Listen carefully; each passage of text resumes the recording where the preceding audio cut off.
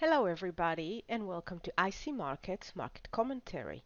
My name is Tamar Mehr from Trade with Precision and today I want to do a spotlight on the Canadian dollar. So we've seen the markets or the pairs against the Canadian dollars pulling back quite nicely after a strong sell-off. So we've seen some weakening of the Canadian dollar and I want to start with Kiwi CAD and the chart that I've got here is the daily chart and what we can see is that we've got a very nice uptrend, clear series of higher highs and higher lows on the daily. We also have the moving averages 10, 20, 50 all fanning all in the correct order for an uptrend. Now I drew the Fibonacci retracement from the latest low to the high and we can see the area of the 50% retracement is clustering quite nicely with the previous swing high here. So on the move down we'll see that clearer on the weekly chart. So I like this area and I'd like to see a bit of a pullback to release some of this strong buying pressure into the buy zone that area between the 10 and the 20 moving averages. I'd like to see that the buyers are coming back after that pullback and a continuation of the move.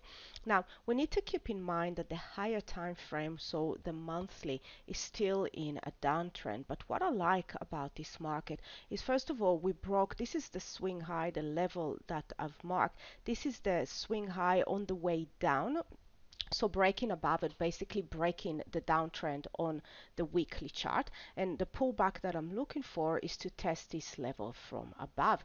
And if we'll take a look on the monthly chart, what we can spot is that we also broke above a significant area. So this area over here, this is, we actually went above it. So this is the previous swing low on the way down as well before we made the latest lower low and seen this pullback. Now, if we look at the monthly chart, it is in a downtrend and we are pulling back into the sell zone. So it's the area between the 10 and the 20 in a downtrend.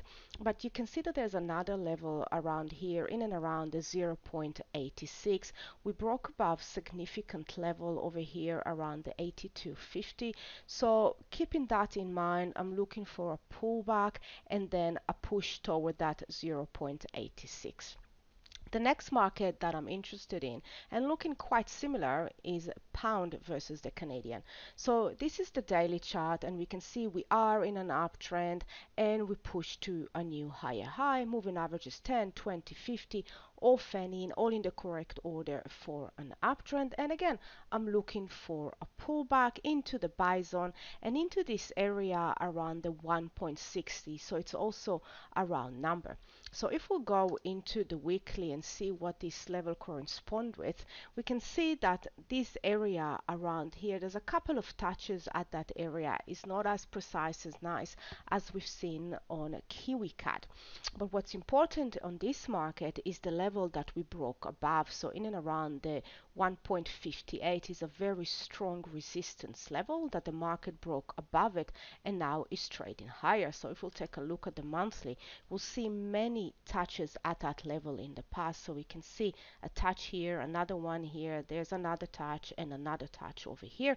And currently we're trading higher. So similar to KiwiCAD, the monthly chart is also in a downtrend and we're simply pulling back into the sell zone. But once again, we can pull back a little bit further, which mean a continuation of the uptrend on the daily chart. So we always have to keep in mind where the higher time frame are sitting and do we have enough room to move before we hit another level of support and resistance. So in this case, the level above is around the 1.65, 1.66. You can see again, many touches at that level in the past. So I'd like to be out before we reaching that area.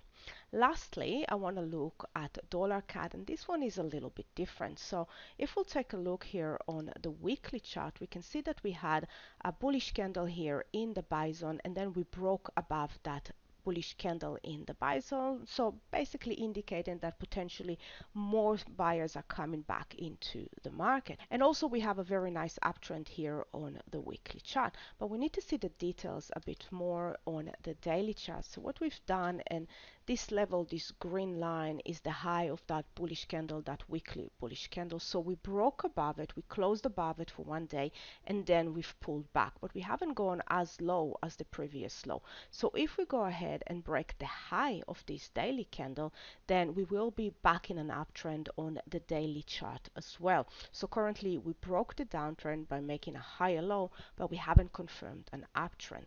The next resistance is rather closer. It sits in and around a little bit below the 1.36. We can see a couple of touches at that area. So this is also the swing low on the daily chart.